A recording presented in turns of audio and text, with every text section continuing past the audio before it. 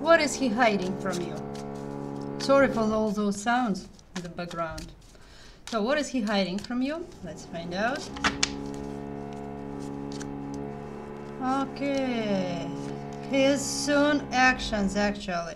He's hiding that very soon he will appear in, in front of you.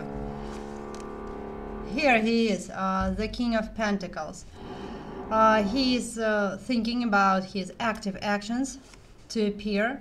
Here you are, my dear, you are the Empress. And also, uh, if you are waiting for him, uh, your wish will come true very soon, actually. And uh, you should wait for a sort of a celebration. We are going to be together. And I should tell you that all those moments uh, with blocks when you didn't communicate are going to be over. He is going to appear in front of you very soon. Uh, minimum it's uh, send a message or maybe it's the road he will come.